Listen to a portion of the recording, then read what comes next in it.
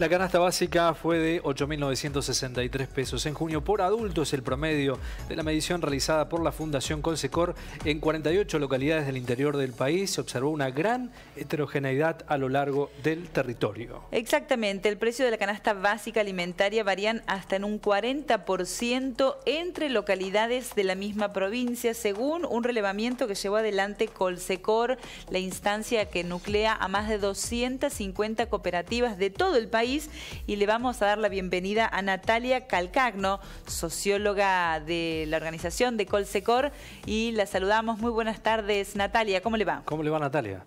Hola, ¿cómo están? Buenas tardes. Muy bien, ¿qué tal? Bueno, lo decíamos recién, comentábamos un poco los títulos de este informe que ustedes han presentado y que da cuenta del valor de la canasta básica y de cómo varía justamente ese monto entre localidades incluso de una misma provincia. Exacto, eh, lo, que hicimos desde la fundación es convocar a distintas localidades, en general localidades pequeñas e intermedias de nuestro país, que como sabemos son muchísimas, muchas localidades a lo largo de todo el extenso territorio nacional que tienen pocos habitantes.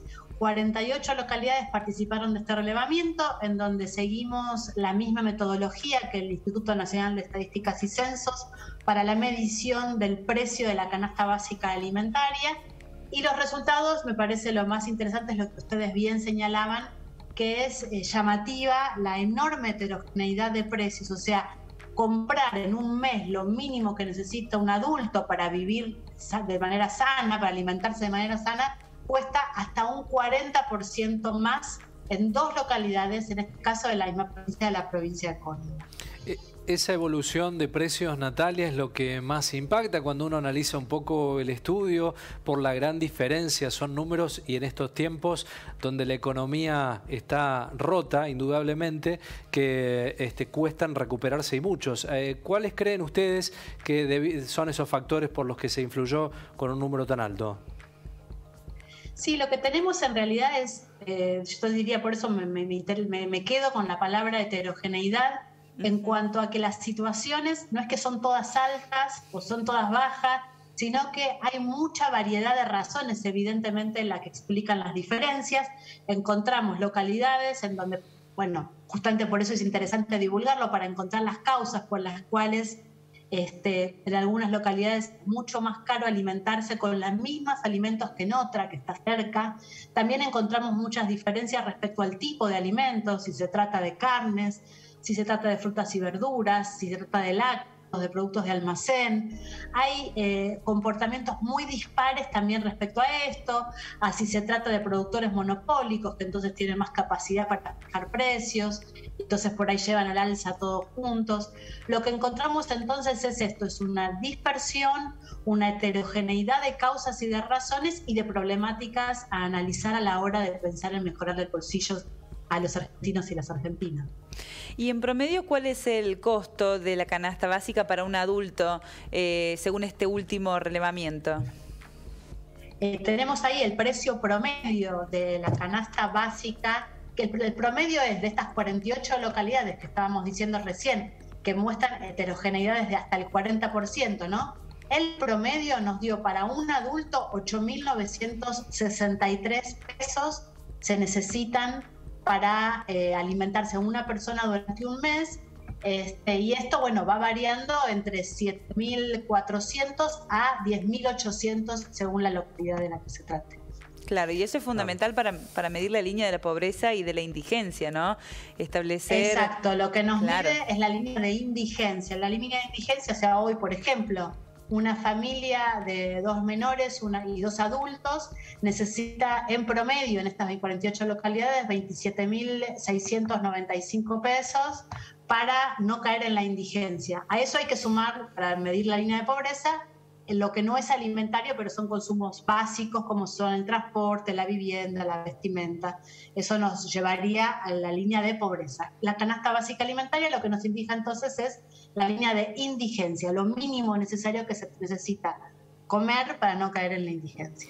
Natalia, en esta heterogeneidad que usted manifestaba respecto a la conformación de los valores y la diferencia de los precios, imagino que el tema del transporte, la logística de localidades eh, distantes, más distantes o menos distantes respecto a los lugares de producción, eh, tiene alguna influencia, lógicamente, en, en el precio, ¿no?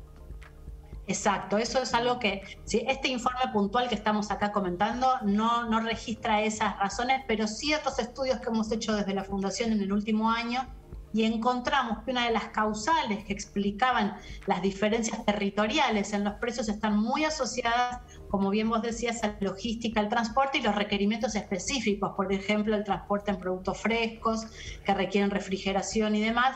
Esta sería una de las causales de las diferencias en los precios. Bueno, y una cuestión en la que me gustaría volver a, hacer foco es lo que decíamos recién de la línea de la pobreza y de la indigencia. Digo, este estudio que ustedes hacen, que es mucho más federal, permite eh, conocer más de cerca y en términos más reales a las poblaciones. Porque digo, si el promedio de la canasta básica para un adulto es de 8 mil pesos, pero en algunas localidades cuesta 10 mil, 11 mil pesos, en esa localidad hay más pobres o más indigentes que lo que se dice oficialmente. Claro, en realidad lo que hay es unas diferencias enormes en cuanto a lo que cuesta, ¿no? O sea, 8.900 pesos de promedio y como vos bien decías, de 7.400 a 10.500 según la localidad. Esta información no está concluyendo que en donde hay 10.000 pesos hay más indigentes. Lo que nos está indicando es cuánto cuesta. Para poder concluir esto, que es muy interesante, y esta es la razón por la que nos interesa mostrar las diversidades que hay en nuestro país, cómo no hay un interior, sino hay muchas provincias y muchas realidades diferentes que necesitamos analizar para mejorar la calidad de vida, deberíamos complementarlo, por ejemplo, con el salario promedio, los ingresos. Con, los indicadores de ingresos, con la desocupación. Entonces, de ese cruce podríamos sí sacar conclusiones a ver si hay lugares con más o menos eh, indigencia, y pobreza, digamos. Acá estamos ofreciendo una parte, pero que son datos que no se conocían que no se habían registrado respecto a cuánto es una canasta, cuánto cuesta alimentarse en localidades chicas de nuestro país. Claro, sí, son datos objetivos, datos reales que sirven para un estudio posterior. ¿Cómo fue el proceso de elección de estas eh, localidades, eh, Natalia?